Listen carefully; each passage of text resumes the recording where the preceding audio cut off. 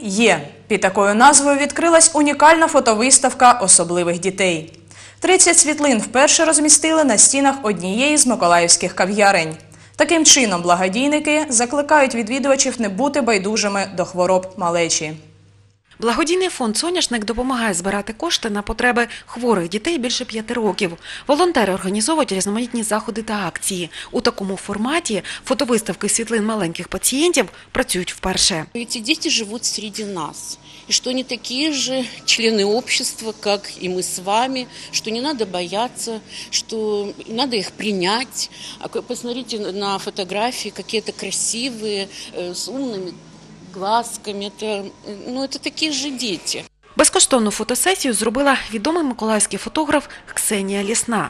Моделями виступили 10 особливих дітей. У кожного своя історія боротьби з недугою. Мы очень рады помочь этим маленьким детям, ко- у которых проблемки, и они с ними прекрасно справляются.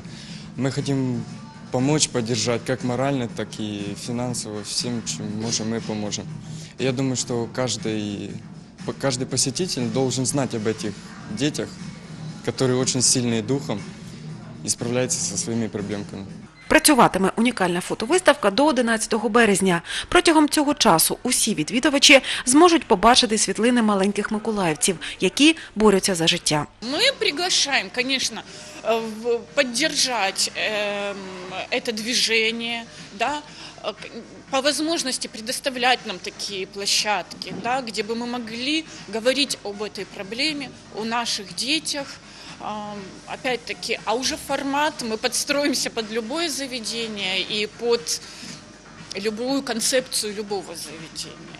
Організатори фотовиставки сподіваються, що до благодійної акції доложиться більше підприємців.